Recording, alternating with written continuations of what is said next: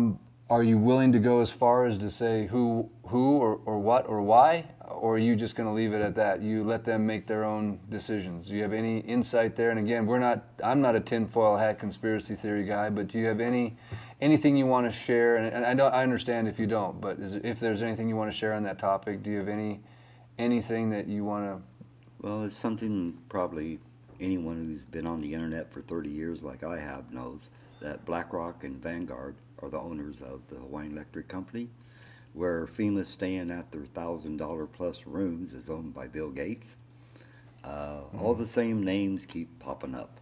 The sheriff who was involved with the Las Vegas debacle, he was here for five weeks.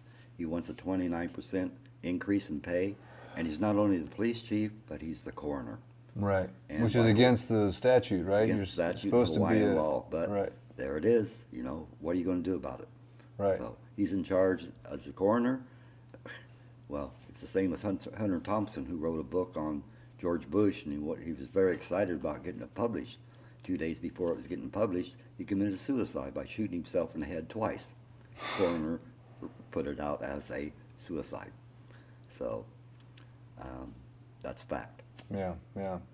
So there's a lot of things that went wrong simultaneously. So in my mind, the way I look at that is the probability of that happening in nature is very unusual. Like it if is. you if you have one thing that doesn't happen, the, the siren doesn't go off, okay, mm-hmm. or maybe the water didn't work. I mean, mm-hmm. for one of these things to be in place, I think is somewhat reasonable. Right. But to have absolutely everything go wrong, that part to me seems very unlikely. And so therefore it does point the finger in the direction of some type of human causation. Would it you agree? Not, it was not organic.